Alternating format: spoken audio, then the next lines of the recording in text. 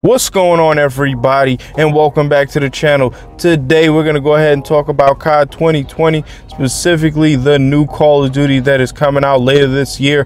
But before we get into that, please do me that favor, like the video, subscribe to the channel and follow me on Twitter.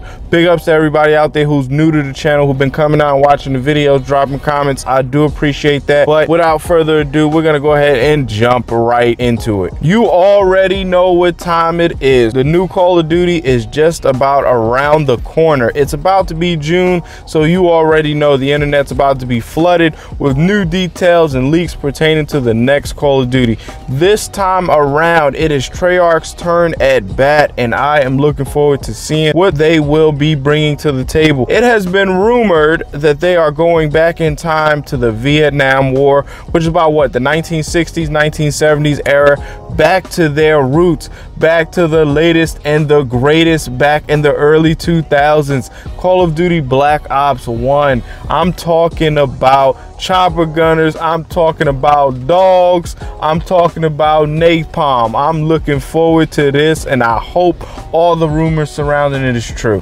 The internet right now is calling it Call of Duty Cold War. I don't know if that's actually going to be the running title or not. And I think that might be kind of whack to be honest. But I feel like whatever it's going to be, it is going to follow the trend of going back in time. If you think about Infinity Ward, Sledgehammer Games, Raven Software, all of them, they've actually already taken a step back. I think it's going to be really, really good and uh, I'm looking forward to what they're going to bring to the table. Moving forward, I truly believe that they have an opportunity here to return to a very good point in the Call of Duty lifespan. I truly believe that if they do this right, it'll bring in a lot of old veteran players and a lot of new players as well. I'm talking coming right out the gate swinging. I'm talking good net code, great weapon variety and balancing, bring back that wonderful prestige system. However, you can go ahead and leave the weapon setup when it comes to your classes the exact same. I do actually like being able to add a variety of different attachments to your weapon and everything and change it on the fly.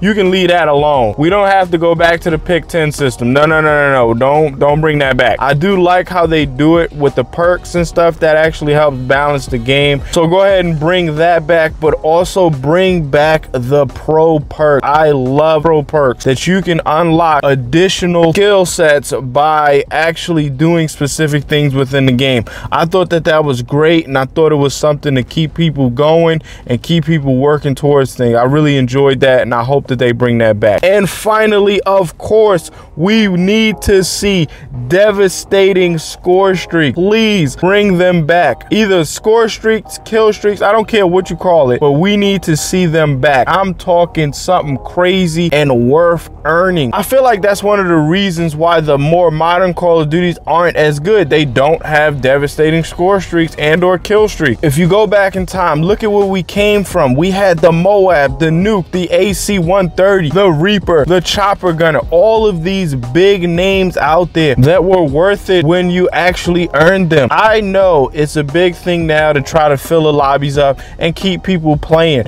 But back in the day, when you heard enemy AC-130 or even saw that countdown for a nuke or a Moab coming your way, you actually questioned whether or not you were staying. And we need to get back to that. Leave all this foolery and all this hyper realism nonsense behind. If people want to quit the game because they getting smacked, so be it. Let them go. That is how all of us COD veterans actually learn to get better at the game. Everybody has gotten into a game where they have gotten smacked and or have wanted to quit. That's just the way it goes. That's how you get better at the game game. Moving on back to Call of Duty Cold War, I hope that they bring back some of the more iconic weapons of the past. I'm talking about the actual Galil. I'm talking about the actual Commando. You remember the seatbelt gun? That's what everybody thought of it as the seatbelt gun.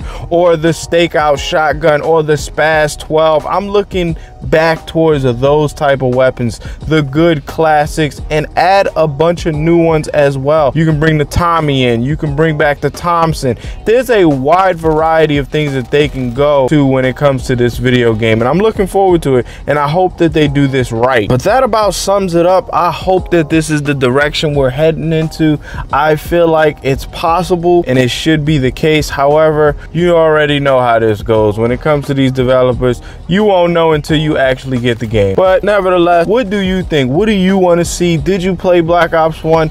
Do you want to see a remaster of Black Ops 1 or would you prefer they build something new from the ground up? Let me know down below in the comment section. Thank you so much for coming out to watch my video. Please do like the video, subscribe to the channel, and follow me on Twitter. Appreciate all the support, and I will see you on the next one.